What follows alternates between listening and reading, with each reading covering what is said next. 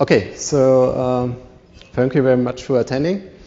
Um, this is the title of my talk, Same Origin Policy Evaluation in Modern Browsers. Um, I'm one of the co-authors, Marcus uh, Niemietz. Uh, the other co-authors are Jörg Schwenk and Christian Mainka. We are all from the uh, Ruhr University in Bochum, which is uh, in Germany. And uh, to be more explicit, we are working for the um, Horst Institute for IT Security, maybe more well known. So this is how the uh, content table looks like. We have an introduction part, and then uh, we go into some foundations. We will go into the uh, methodology and evaluation, and third, uh, we go in regarding uh, the, the, limitations. So there are a lot of them. We just have a look on a small subset. And uh, we also discuss some access control policies for, because what we initially want is that we compare different access control policies and um, whether they match with the same origin policy or not. So we will see that. And uh, last but not least, there is a conclusion part with an outlook, and we will discuss some future work. So there's a lot of uh, things to do, but um, yeah, let's go through the talk. So first of all, the introduction and foundations part. Imagine the following case. We have a website, and for example, in Google Chrome or whatever, and this website is called https://bank.com. Uh, and there is loaded some HTML code and a CSS code, uh, JavaScript, or whatever. And when we look into the document object model, so the DOM, we can see that depends always on the view, that maybe the root element might be the window element. And um, under the window element or um, as a child of a window element, we might have document, we might have a doc type, an HTML5 doc type, um, HTML4.01 or whatever, and um, a header body. And when we go even deeper, we also have uh, this fragments here, so uh, script, image, uh, link, and many, many popular things. iframe, for example. So, and when we have this scenario here and make it a little bit more complex, um, there could be something like this. So we have a website with an iframe. So we have a window and a, yeah, a frame, uh, a sub window. And this uh, frame here loads also a website. This is the same website with the same origin, bank.com. And um, we can see that there, oh, it's a small pointer, um, have an international bank account number here and um, yeah, also an amount. So we want to transfer 50 bucks to my bank account. And an honest uh, party like um, a developer from bank.com might say, well, let's change the amount to $10. So that is totally fine because we have act on the, the same origin. And the question arises, what happens when there is attackers.org? So this guy here is, um, you see that, attackers.org, and he wants to access code or content from bank.com. And in case that this might be possible, there, then we have a same origin policy bypass. This is, of course, uh, hopefully not possible, and um, the same origin policy protects us somehow dependent on different origin uh, aspects like port protocol and domain, but this is just half of the truth. Uh, we have many, many uh, limitations, many um, exceptions. Uh, a well-known one is uh, Internet Explorer, which doesn't care about the port and so on. And when we go into the DOM, so this is just a small abstract, um, we can see that there is something like a firewall which is around the DOM of um, our iframe. So and this firewall manages, well, do you have access or not? And currently, we are talking about the DOM SOP. So this is just a small, small subset of the same origin policy. Same origin policy is actually yeah, a set of uh, policies, and one subset is the DOM subset.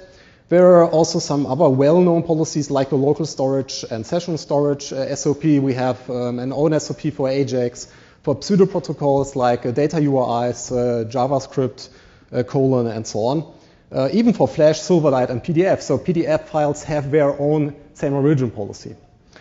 And uh, when we look on things like window.opener, we can also say that even a window or a tab has its own SOP. And maybe the most popular example on the slide is uh, the cookie example because when you compare cookies, you have to compare another factor. So not only the port and um, the domain and protocol or schema, um, you also have to consider the path.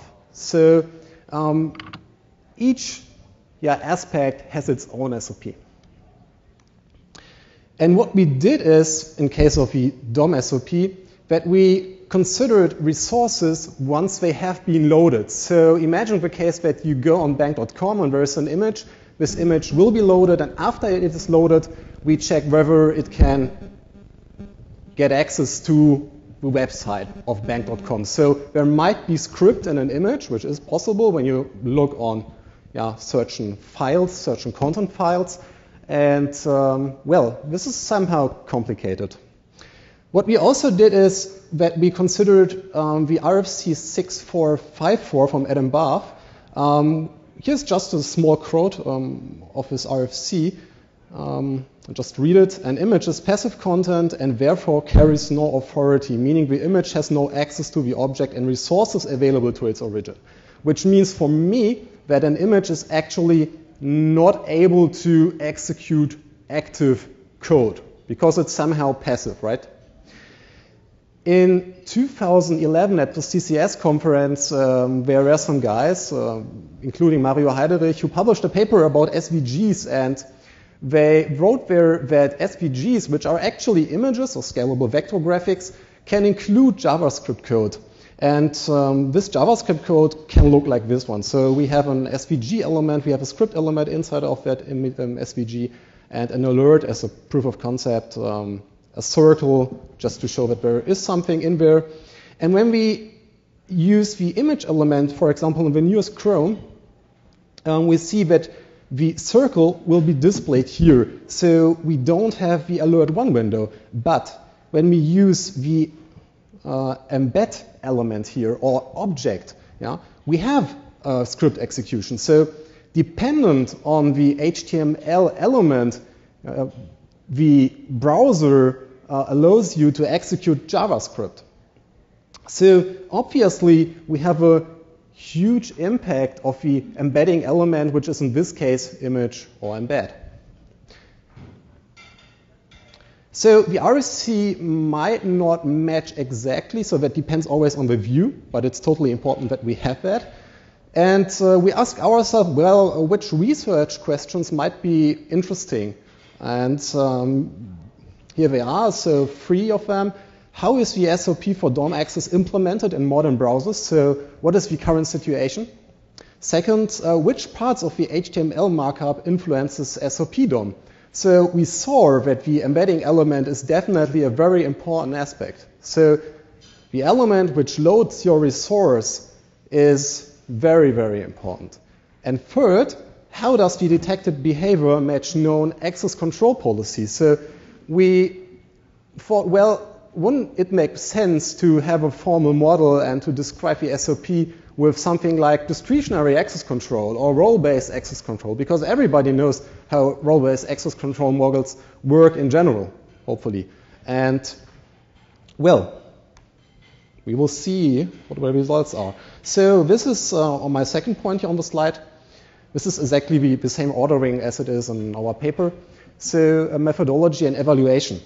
In our methodology, we have uh, such a test set up here. So in this case, we have the host document, which is a browser which loads bank.com. So the first example which I showed you. And then we have an embedding element. So this embedding element could be an image, an embed element, an object element, or for example, a script element, or an iframe even. And when we have a case of an, of an iframe, an iframe can load another website, another yeah, subDOM. And this website is here listed with the embedded document. So we have the iframe which loads content, and this content is called the embedding document content.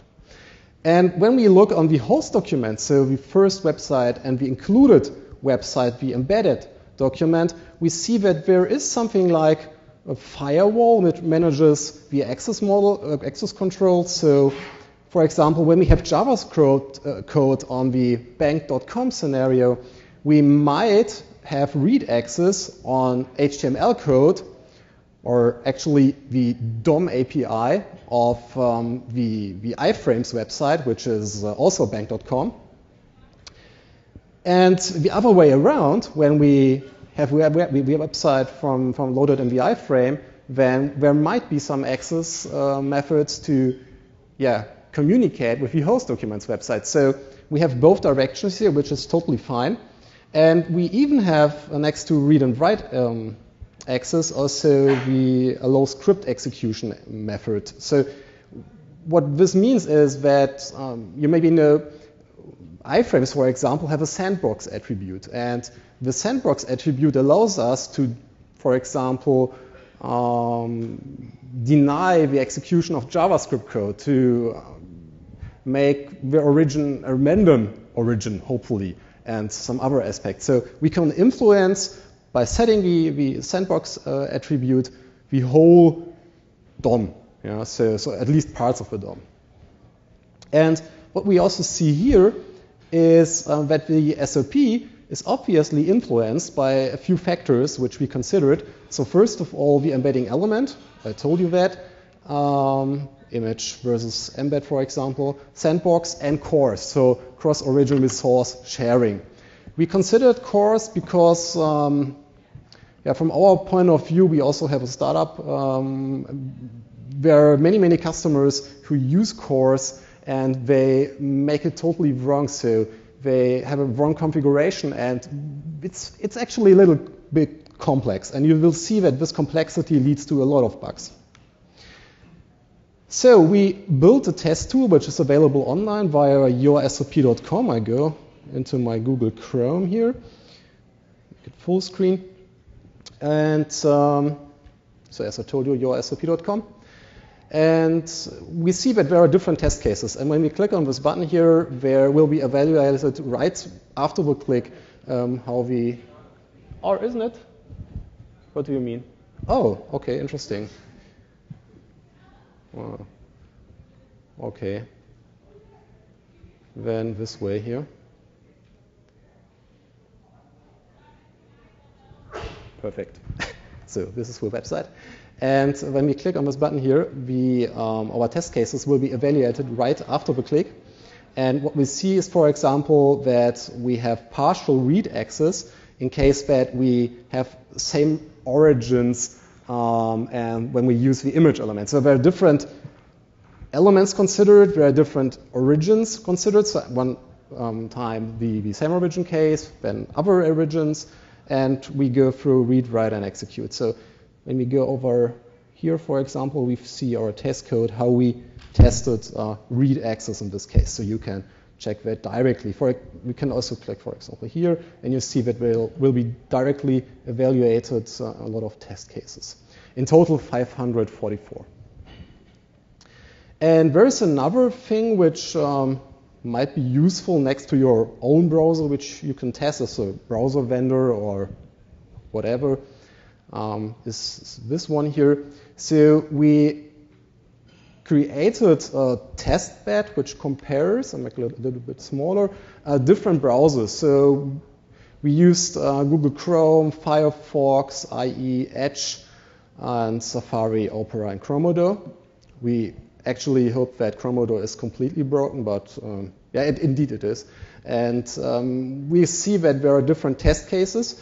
And what we want is that we want to detect differences across browsers. So this, the first row here isn't interesting for us because every browser has partial read access in case of images loaded by the same origin. But when we click on only display differences, we can see that there are a lot of differences. 126 cases from 544 cases, so over 23%, you know, are different in at least one browser. So, for example, in this case here, we can see that we, the recommendation based on the majority is that we have uh, read access, so most of the browsers have uh, partial access, but in Firefox and IE and Edge, we don't have access, so something might be wrong here. So is this okay, or is this a bug? This is up to you. So let's go to the presentation part.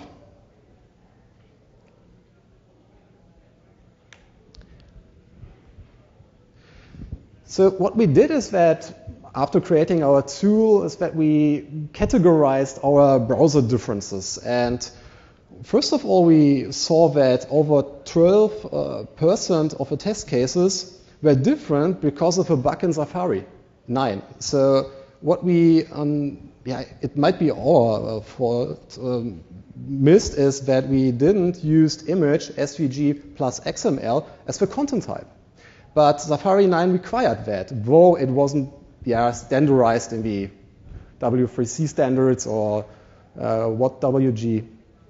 And uh, this behavior was fixed in Safari 10.1. So it was maybe, obviously, uh, a Safari bug. And this is a little bit more interesting. Over 35% of the test cases were caused in case of canvas elements. So uh, we tested the most, yeah, let me say, um, used and well-known elements like link, script, uh, and uh, frame. And this also includes Canvas because uh, you can, for example, communicate uh, yeah, with image elements, which we also tested. So this is actually related to it. And we see that Canvas uh, loading content, um, and this content is PNG or SVG, in combination with CORS, yeah, have a lot of differences also links. So when we load CSS code with it, um, there is uh, yeah, a lot of differences, over 60, 70 uh, differences just because of the link element in combination with CORS. So CORS is obviously a huge problem. When we count them together, we are over 86% so of our test cases who have problems with CORS due to its complexity, I think. We also detected one browser vulnerability. There might be even more browser vulnerabilities in our test bed, but we were not able to detect them. Uh, you can look through it. Maybe you find one. And, well, let's go through it. So let me that check here on the tool. So we once again go to the tool here. And the interesting line is link. So I look for it. And we see that this one here, might be interesting because every browser denies access and the only browsers, oh, so um, beside of two browsers, and the only browsers who allow access are IE and Edge, so the Microsoft browsers. And yeah, we ask ourselves, well, why is it the case and what kind of test case is it? So when we go through it, we have um, different origin, so not the same origin case, we have a cross origin case, we are using the link element. We don't use CORS, this is not set. And we have a read situation. So we want to read CSS code from another origin. This shouldn't be possible, right? Because when we can do that, we could, for example, um, make a login oracle. Who knows? And the other way around, we can not only read code, we can also write code cross-origin which means that we can, for example, do scriptless attacks, which we announced in 2012 at CCS. So um, scriptless attacks, for you who maybe don't know it, um, are attacks which are with CSS code and sometimes similar to cross-site scripting. So you have some parts which act similar. So there is a huge impact by writing and reading CSS code, CSS lines cross-origin.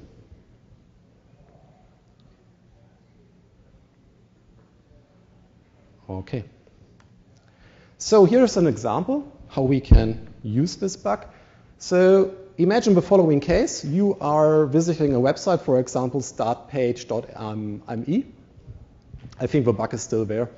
And what you see is that depending on your login state, the CSS file will change its content. So when we look, for example, in the first line of this website, we see that the button uh, is displayed in green. Yeah, when you're logged in. And when you're logged out, the button is displayed in red. So the CSS code, the CSS file changes its content depending on your logged in state. And we know from our tool that we can read out the CSS uh, lines cross origins. So, for example, with yeah, this uh, proof of concept here, an alert window with document style sheets zero, so the first style sheet, CSS rules zero, cssText. So we read the first line of the loaded CSS file. And how can we do that? Just by including a link element on our host document website, on our attacker's website, which loads the attackable CSS uh, file. So, for example, from victim.com or startpage.me. So this is the result in IE on the left side and on the right side in Google Chrome. IE, as you can maybe see it, reads out the line perfectly and shows it in the alert window, and um, which is just a POC. And uh, on the right side, we have an exception here, and Google Chrome denies access, so we cannot read out the CSS code with its browser, which is actually the right decision. So, limitations on access control policies. There are actually a lot of limitations. We had a look on a few elements, on a yeah, some origin aspects. So we only considered HTTP. Yeah. We uh, considered different domains, not different ports, and many, many other things. So when you look on the limitations, you can even make write a book about them. So, um, for example, uh, you have limitations in case of link elements. There are CSS imports. There are web workers, uh, service workers. We have SVG content, um, JavaScript execution inside of the SVG via Xlink, and many, many more things. Pseudo protocols. You can even define your own pseudo protocol. So if it's, for example, possible to define burger colon yeah, as a pseudo protocol. And this is a totally new area and might have also some new SOP bugs, who knows. And the cool thing about it, or actually worst thing about it, is that um, the attack surface might grow with each new feature.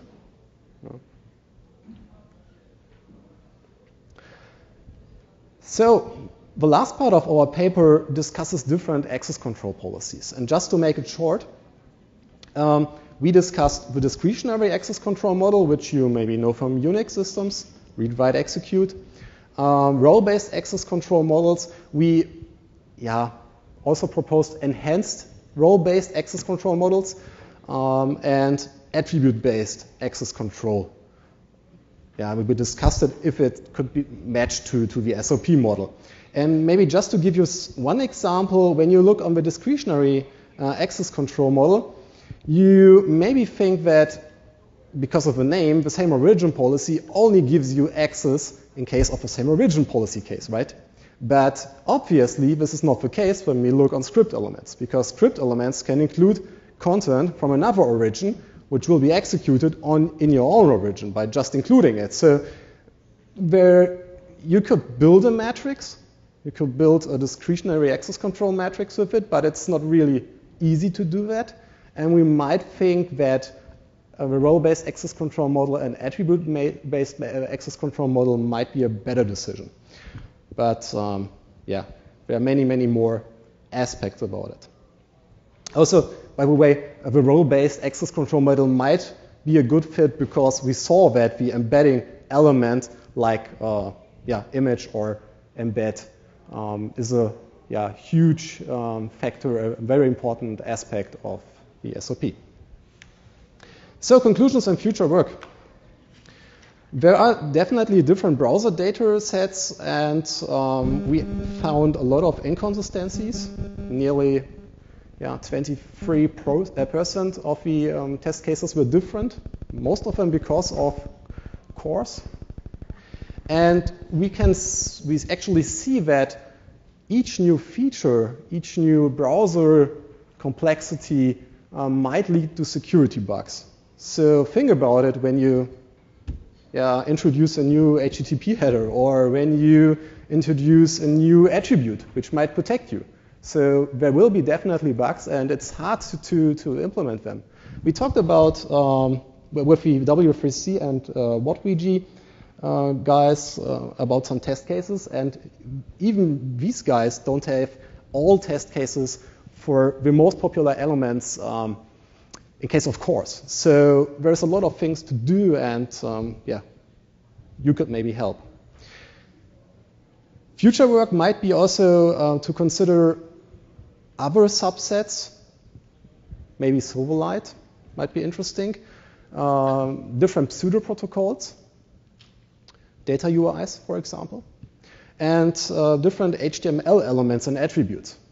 Especially when we look on HTML5 and some other new, yeah, let me say, standards, um, we might find new things, new features, which um, make the situation a little bit worse. And, well, I hope that you enjoyed the talk, and thank you for your attention.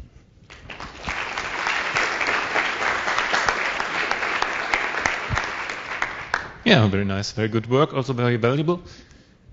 Um, when you displayed these big tables, so you had like yeah. this binary thing, so this full access, no access, and then you had the partials. So what I was thinking about, did you check if partial access of browser A is the same partial access as B, or do we also have differences there?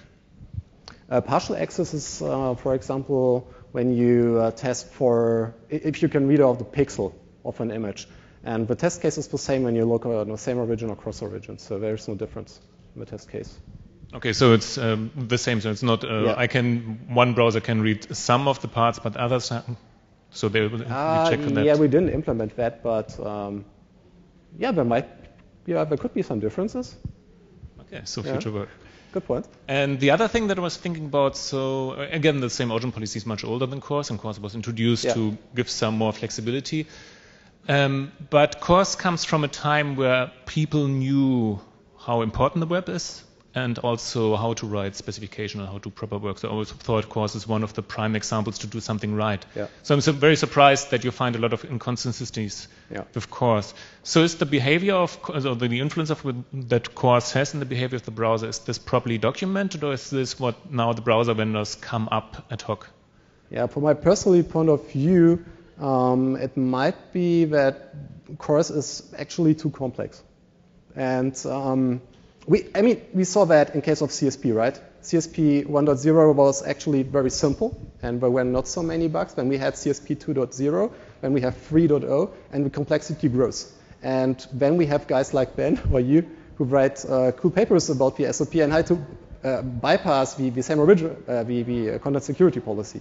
So I, I think that you should reduce the complexity. This is maybe the most important thing, but this is always de depends on the view. So. Okay, so I don't have to introduce myself. Um, about the reading of CSS cross-domain. Um, so I know that, for example, like the get computed style was kind of changed such that you can't do history stealing anymore. But I'm wondering if you cannot actually use side channels. Like, for example, if you know that the font size uh, is specified, and you see basically where the next element after that after the text is.